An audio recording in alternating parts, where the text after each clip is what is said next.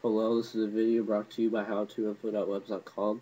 Today, me, Steven, will be showing you how to make a new library in your documents, such as, or similar to, music, my documents, videos, and etc. I am not for sure if this works on XP, but I am positive this will work on Vista. This always, this will always work on Windows 7. Alright, now what you need to do is go to start menu, go to documents, maximize that,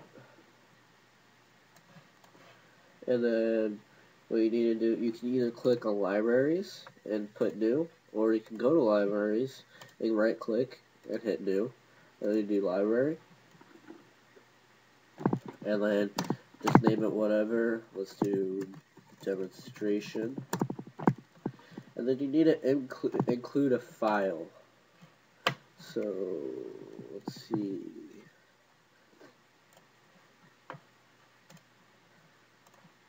Hold on, let me...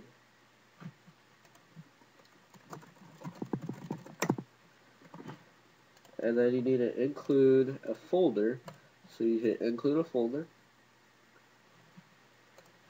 And I just made a folder called demonstration wherever that is. Uh, right here.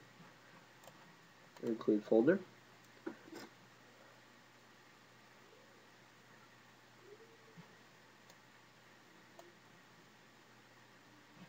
And then there you go. New library for you. If I click on it, hit delete, and it will delete it. Thank you for watching. Hopefully this helped. And subscribe.